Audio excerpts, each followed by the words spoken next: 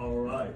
And the 10 finalists are again, Ghost Chicken, Gift, Horror, horror Stories, I Need a Sixer, Murphy's Golf of Gulch, The Bodyguard, Theomorphous, Vermilion, and Washington.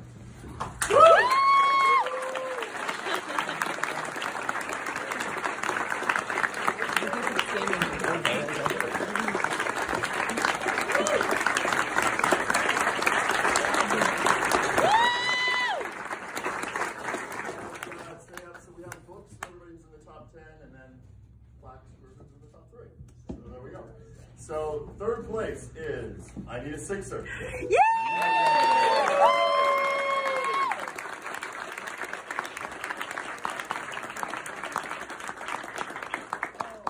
Watson, people. Yes. Thank you.